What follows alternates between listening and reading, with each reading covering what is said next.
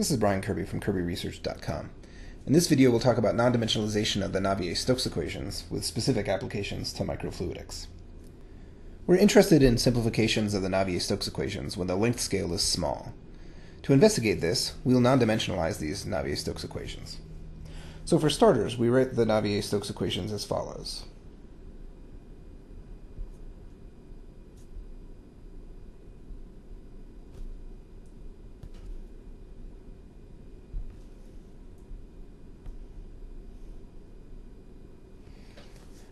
With these Navier-Stokes equations, we have a couple of symbols that are important to define. We have the density, the time, this velocity u, the pressure P, and the viscosity, which we'll denote with an eta. Now our approach is to non-dimensionalize these parameters, the velocity, the pressure, and the time, using five different factors. The density rho, the viscosity eta, some characteristic time, and some reference length and reference velocity. These five different parameters that we'll use to non-dimensionalize will then lead to two non-dimensional terms. And these two non-dimensional terms will describe the relative magnitudes of these different derivative terms, these four different derivative terms in these equations. In particular, these two non-dimensional terms that we will come up with should be independent of the unit system because they're inherently unitless. So to do that, we need to define a number of characteristic parameters. So first we'll define characteristic length scales. And we'll non-dimensionalize the lengths in the system. So we can consider the system in any of a variety of coordinate frames, but if we, for the moment, assume that we're in a Cartesian coordinate frame, we can non-dimensionalize these, uh, these coordinates, x and y and z, by some characteristic length L.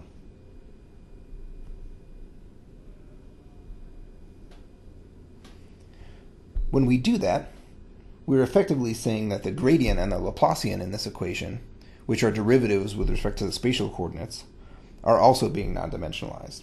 And so we can write non-dimensional versions of the gradient.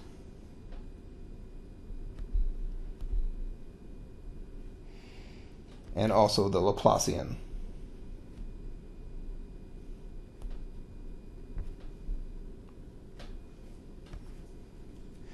Now in all these cases we've used a characteristic length L, and this characteristic length L comes from the boundary conditions.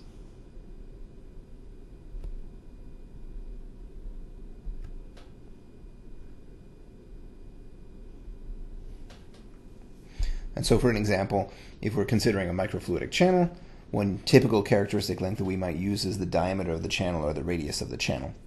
If we're talking about flow around a small particle, we might consider the diameter or the radius of that particle.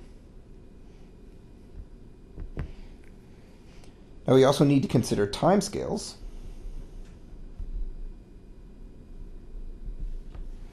And so in this case, we'll non-dimensionalize the time in this equation by some reference time. Now this reference time really needs to be the fastest time scale in the problem.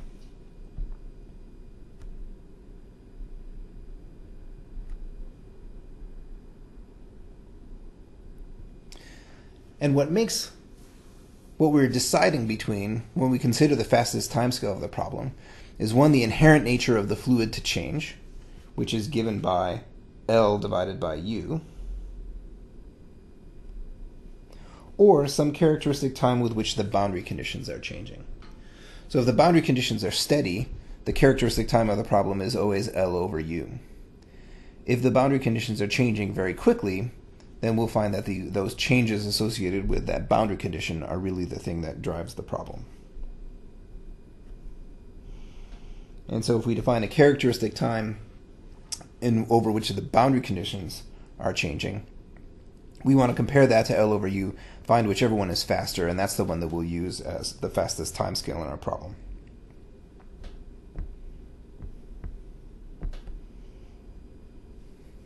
We also need to non-dimensionalize the velocity. And to do that, we will divide our velocity by some reference velocity u. This capital U is the same capital U we use to describe the reference time, and is some characteristic velocity, again from the boundary conditions.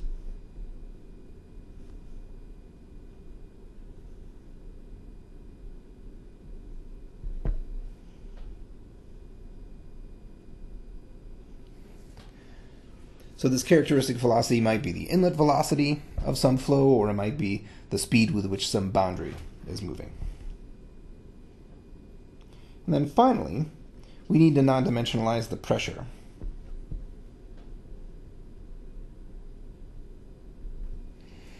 And so we'll non-dimensionalize this pressure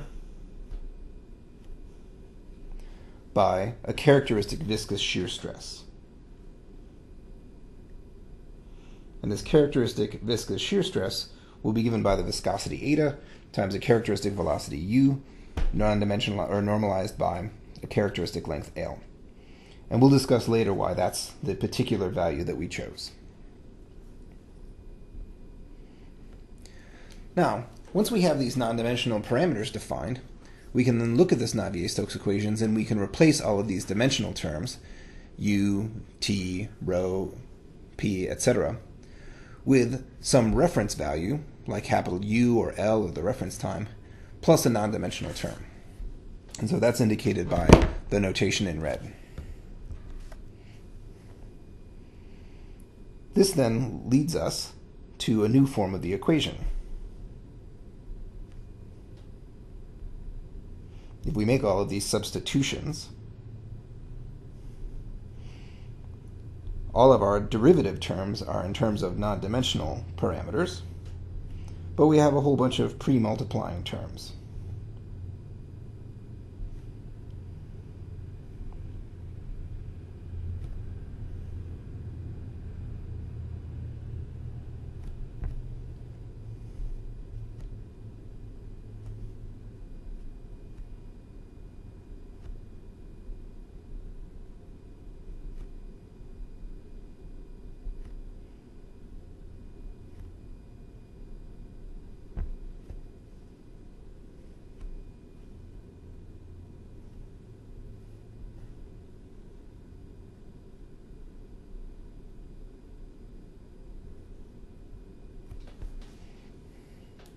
Now we can take this and we can divide through by this value here.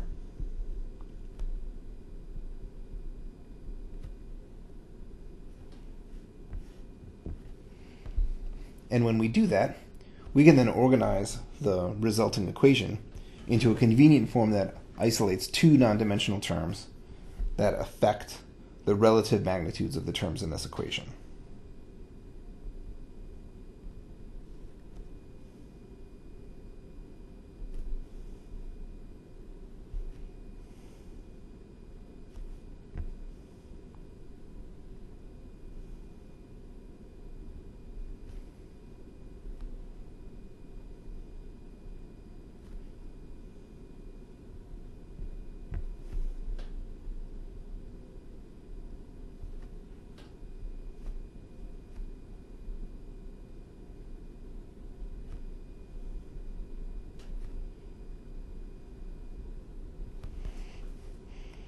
So now this equation has four derivative terms.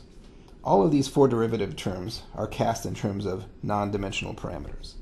So if we look at those four derivative terms, one here, one here, one here, and one here, if we've non-dimensionalized these values correctly, we hope that all of these non-dimensional derivative terms are of order 1 everywhere in the flow.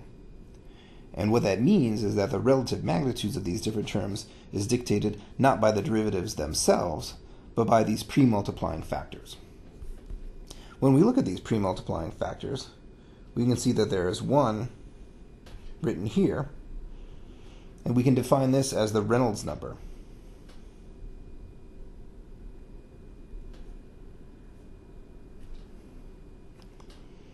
In front of the time-dependent term, we have both a Reynolds number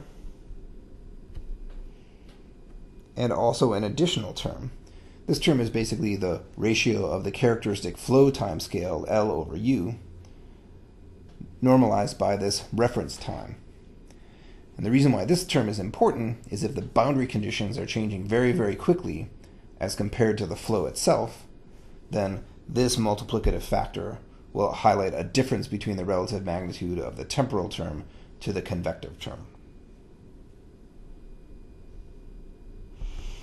So this additional term we see here is equal to 1 over the Strouhal number, where we define the Strouhal number as this reference temperature, or this reference time, over the characteristic flow time scale L over U. So again, if the boundary conditions are steady, the reference time we use is L over U, and the Strouhal number becomes 1. But in the case where the boundary conditions are changing, then this Strouhal number can be different. Now, given this form that we've derived, we can now rewrite this as our final solution. This is now the non-dimensionalized form of the Navier-Stokes equations, and it includes the possibility that our boundary conditions could be changing. We can see that the relative magnitude of these terms is given by the magnitude of the Reynolds number and the magnitude of the Strouhal number. Again, the idea was that we, if we non-dimensionalize these parameters correctly, the derivative terms would be approximately of order 1, and their relative magnitudes are dictated by these two non-dimensional parameters. Now, if we're considering this system for a microfluidic flow, then we expect that the Reynolds number will be small because the length scales are small and the characteristic velocities of microfluidic flows are small. And so in that case, we can neglect, neglect these two terms on the left-hand side. In fact, the only time that we wouldn't be able to do this is if the boundary conditions were changing so quickly that the Strouhal number basically would cancel out the effect of the Reynolds number on this first term. Once we've done that, we can now eliminate these first two terms and we can now rewrite this equation including only the two terms from the left-hand side.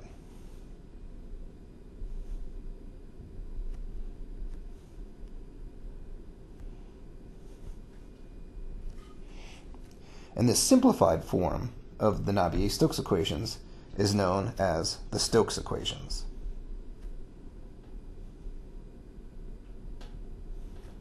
And again, these are valid for low values of the Reynolds number. We can, if we want to, take this same equation and return it to dimensional form.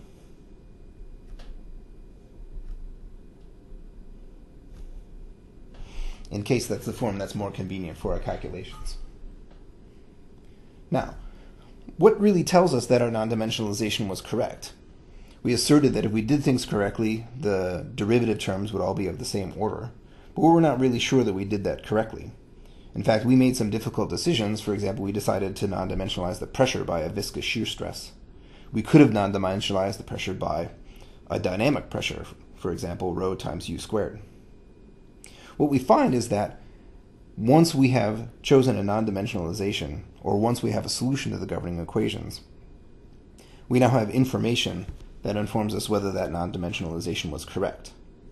It turns out that we know for low Reynolds number flows that the viscous forces dominate over the inertial forces. In fact, that that ratio is what really defines the Reynolds number anyway. And so we know for small scale flows for low Reynolds number flows that the viscous shear stress is the one that will be dominant and that's the proper one to non-dimensionalize the pressure term by.